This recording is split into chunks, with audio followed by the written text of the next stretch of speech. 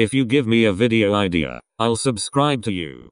Your suggestion could be anything. A video like this, a meme video, or anything else.